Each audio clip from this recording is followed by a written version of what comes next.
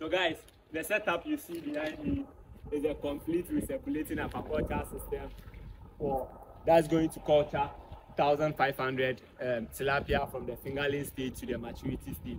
So this is a system where we are going to effectively manage water usage and then reduce the uh, uh, hours that we spend in changing water, the stress and everything.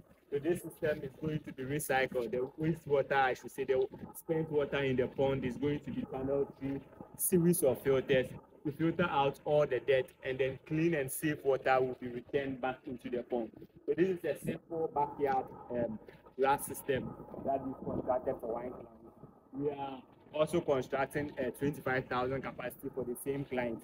But what we did is to um, advise the client to allow us to set up a 1,500 or 2,000 capacity uh, RAS catfish farm at his backyard for him to gather experience whilst the main project is also ongoing at a different location.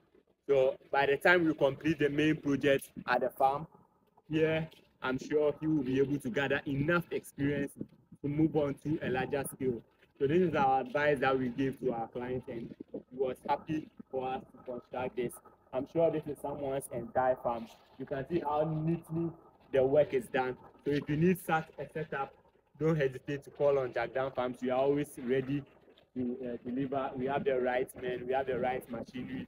Everything we do is on point. We are not going to use any inexperienced um, um, uh, people on your farm. No, all our clients are, all our, our, our workers are well trained and then they know what they are doing.